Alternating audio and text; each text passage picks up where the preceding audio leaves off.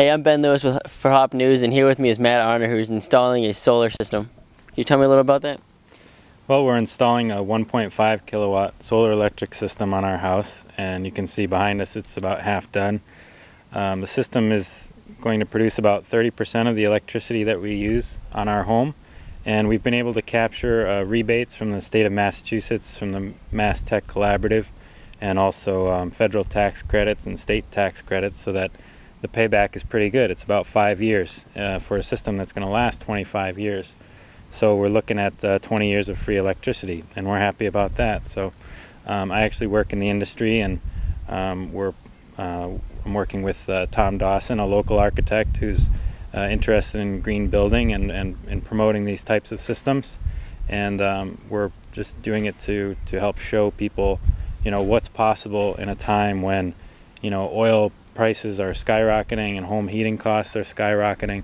It's a it's an option that uh, for a regular homeowner they can feel good about um, producing clean energy without any pollution, and also um, saving some money at the same time. So we're happy about that. So how does it really work? Well, the system, uh, as you can see, it, when it gets uh, hit by the sun coming up in the morning, it's actually a southeast facing system, so uh, it's optimized to produce electricity during the morning. But uh, when the sunlight hits it, it produces DC electricity similar to that coming out of a battery.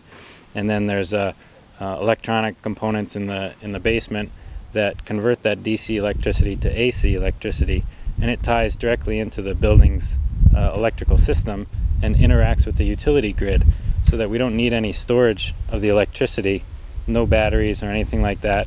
It's called a grid interactive system, and there's very little maintenance. Once the system's installed, it pretty much operates on its own. Um, it uses up, you know, displaces the electricity used in the house uh, during those times, and when the when say for instance we're not using any electricity in the house and, and producing more electricity than we're using from solar, then our electric meter would actually spin backwards and the utility would have to give us credit for that, that energy produced.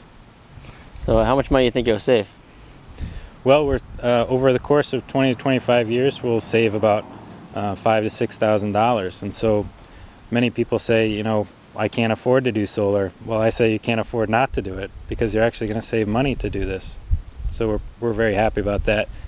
In, in addition to the environmental benefits, of course, and, and you know, feeling like in a, in a time when energy issues are at the forefront of the news, you know, it's one, one thing for a, the average homeowner to, to install a system like this and feel good about, you know, producing their own electricity and, and uh, you know, helping the environment at the same time.